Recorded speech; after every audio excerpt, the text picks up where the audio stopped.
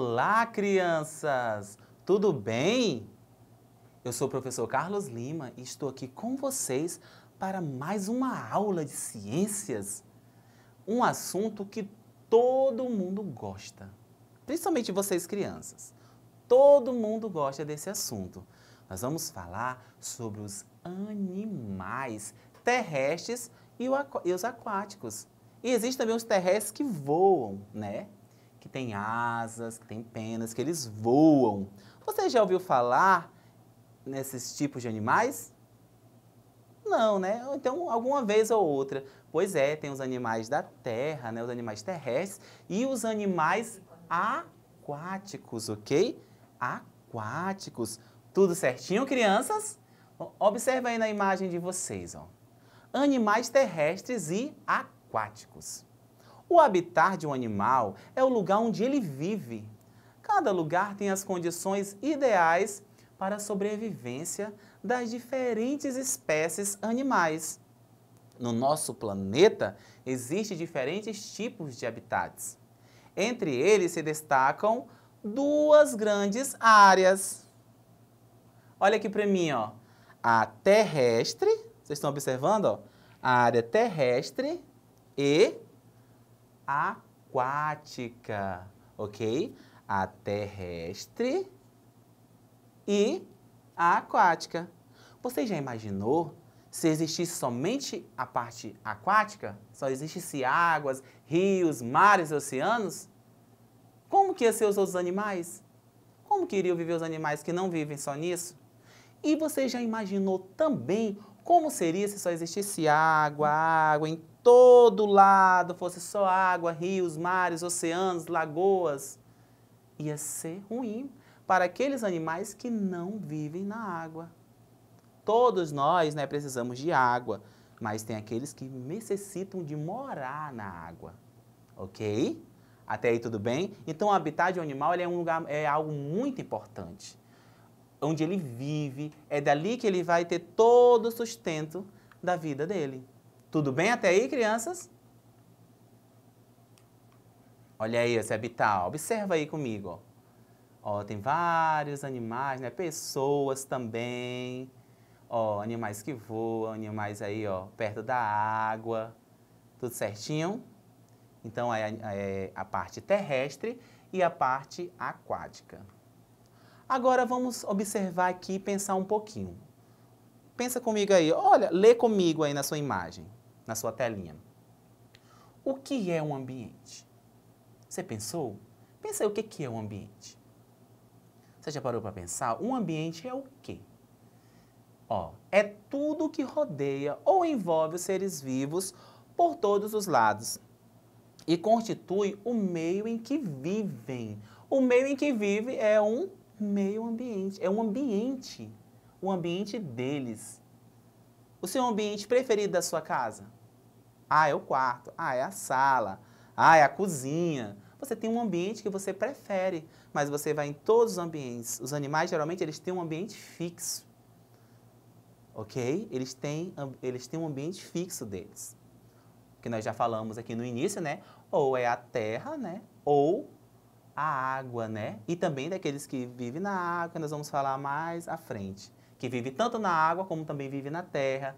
Aqueles que vivem um tempo na água, depois um tempo na terra. E nós vamos falar um pouquinho também sobre esses animais. O ambiente é formado pelos seres vivos e elementos não vivos que são seres brutos. Todo lugar que você vai só tem ah, seres vivos? Não, tem rochas, tem pedras, né? Tem restos de animais, resto de coisas, vários tipos de coisas que vão se formando, rochas, vão formando o solo, ok? Então, ele, ele é um ambiente onde tem seres vivos e seres não vivos também. No ambiente, os seres vivos podem encontrar os elementos que necessitam, como que? Ar, água, luz, abrigo e alimento. As plantas, por exemplo, retiram a água e sais minerais do solo. E os animais, onde se locomovem? Onde eles vivem? Olha para mim aqui, ó. Onde que os animais vivem? Os animais vivem em que ambiente? Hã? Onde que, ele, onde é que eles vivem? Em que ambiente os animais eles vivem, eles, eles andam? Você já viu um peixe no meio da rua? Um peixe no seco? Ou você já viu uma galinha nadando no rio? Hã? Perceberam? Cada, cada animal tem o seu ambiente. E eu vou falar com vocês justamente disso, de ambientes dos animais. Como que a gente fala disso? Observando, vendo na prática. Ó, esse ambiente aqui, vamos colocar como um ambiente aquático. Vocês estão observando, ó? É um ambiente aquático, né? E esse, quando eu virar aqui, ó, esse ambiente aqui é um ambiente terrestre. Essa faz parte da nossa fauna. Fauna quer dizer o quê? Os animais. E nós vamos hoje é, falar, usar essa aula para falar também dos nossos animais, da nossa fauna brasileira. Principalmente na nossa região norte, que, que tem o maior número de animais, né? Nós temos nossa floresta amazônica. Então, a gente poderia falar do leão, falar da zebra, falar de vários animais, só que hoje nós vamos falar e colocar em prática aqui acerca dos nossos animais, da nossa fauna, ok? Então, quando falar em fauna, ah, a minha fauna, o que é, que é fauna? Fauna são os animais. Os animais fazem parte da nossa fauna. Tudo bem? Aí, olha aqui, ó.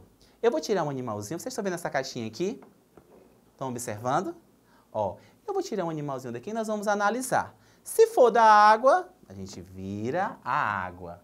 Se for da terra, a gente vira. E se ele for da água e da terra, tanto faz ou tanto fez, a gente fica aqui, ó, no meio termo, aqui, ó. A gente fica no meio termo, que ele fica na água e também na terra. Vamos lá, começar. Qual vai ser o primeiro animal, será, hein? Hum, essa daqui, ó. Linda, né? Como é que é o nome dela? É arara, né? Essa aqui é a arara. A arara é da onde? A arara é um animal terrestre mas também voa. Ela é um animal terrestre. Mas ela fica todo tempo voando? Ela fica 24 horas voando no ar? Não. Então ela precisa vir para o solo, ela precisa vir na terra, na árvore, que é, a árvore fica onde? Na terra. Então ela é um animal terrestre. Tudo bem? E nós temos também aqui, ó. Esse animalzinho aqui. Todo mundo tem medo, né? É o jacaré, né? É o jacaré, olha aqui, ó. O jacaré é da onde, hein? O jacaré, ele é ele é aquático, mas ele também ele é terrestre. Ah, não po pode. O, o, jacaré ele bota os ovinhos, ele sabe aonde? Na terra. Ele vai para um lugar, ele vai para fora da água, coloca os ovinhos e tem os seus filhotinhos lá. Mas ele precisa da água também. Ele vive na água e na terra. Ok, crianças? Então, por isso que está aqui, ó, no meio termo, ok? E vamos ver outro aqui. Ah, esse daqui é legal. Aqui, ó. Esse aqui é quem? Ele adora formiga. É o tamanduá. O tamanduá é o quê? Terrestre. Esse é só terrestre, tá? Esse aqui é o tamanduá, ele é terrestre. Tudo bem até aí? E nós temos outros animais aqui também. Esse aqui é show. Esse aqui vocês nunca viram, eu acredito pessoalmente. Nem eu nunca vi. Esse daqui, ó, olha a coisa mais linda, ó. É o peixe-boi. O peixe-boi, ele é aquático. Olha aqui, ó. Peixe-boi, ele é aquático. Olha.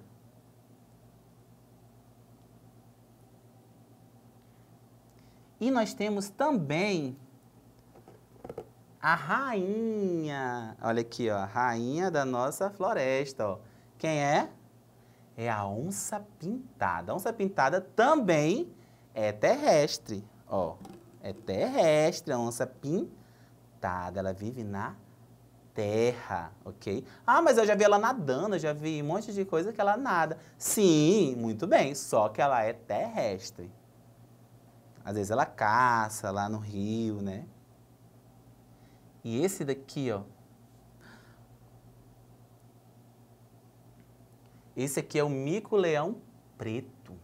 É o mico-leão preto, ó. Ele é terrestre também. terrestre também. Agora essa daqui é bem... Olha aqui, ó, essa aqui, ó. É a... É o bicho preguiça. O bicho, pregui... o bicho preguiça, ele é terrestre. Esse aqui eu já vi, já chegou lá em casa. Com tanta preguiça, mas chegou, né? Chegou lá e tudo é bem mansinho e tudo é perigoso as garras, viu? É perigoso as garras. Se você vê um animal assim, perto de você, você chame alguém para ligar para o IBAMA, ligar para alguém que é responsável pelos animais. Não vá pegar, por mais que ele pareça dócil, mas não é aconselhável pegar, viu? Então, esse aqui é o bicho preguiça, que também é terrestre. E nós também temos aqui, ó, a tartaruga. A tartaruga, ela é o quê? Ela é aquática. Ó, a tartaruga é aquática. Nós temos essa aqui. Olha. É a garça. Olha que linda, ó. A garça. Ó. Ela é o quê? Ela é terrestre. Fica na árvore, mas a árvore está na terra, então ela é terrestre. Ela gosta sempre perto da água também, que ela caça os bichinhos, os peixinhos. Então vocês perceberam que todos eles, sendo terrestres ou aquáticos, eles precisam da água, né? Todos os seres precisam da água. Nós temos aqui também, ó, o mico-leão da cara dourada, ó. Mico-leão da cara dourada. Vocês sabiam que existiam? Tem o mico-leão preto, né? Tem o mico-leão da cara dourada e tem o outro que eu vou mostrar para vocês. Então ele também é terrestre, ok?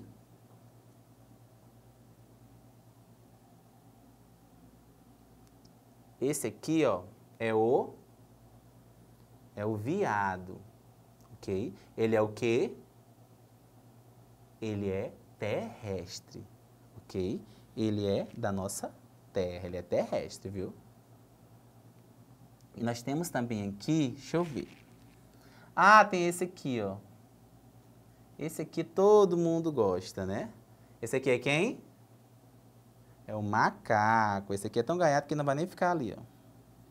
É o macaco prego, né? Vamos falar assim. Que existe vários tipos de macaco. Ó, esse aqui é o macaco prego, que ele é terrestre. Mesmo que ele fique na árvore, mas a árvore é na terra, viu? Ele é terrestre, não é um animal aquático. Tudo bem até aí? E nós temos esse aqui que é o símbolo. Símbolo do Pantanal símbolo, símbolo de vários lugares, de alguns lugares, é o tuiuiu, né? Só que é, é, olha aí, ó, o tuiuiu, chama de jaburu, jabiru, tem alguns lugares que chamam de outro nome, mas a gente chama sempre de tuiuiu, que ele é o quê? Terrestre. Ele é muito parecido com quem? Com a garça, né? Ele é um pouco parecido com a garça. Então nós temos o tuiuiu. Tudo certinho. E nós temos essa aqui também, que é um dos símbolos, né? Ó, a anta. A anta é o quê? Terrestre também, ó. A anta é terrestre. Viram que eu nem mudei mais aqui, né?